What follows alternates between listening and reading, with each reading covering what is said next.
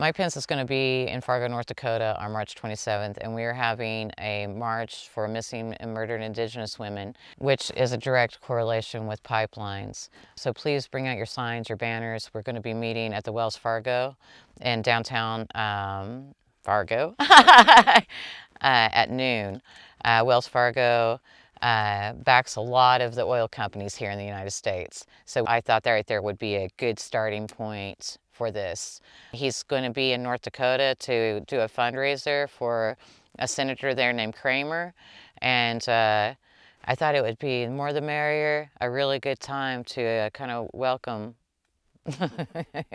Mike Pence to North Dakota.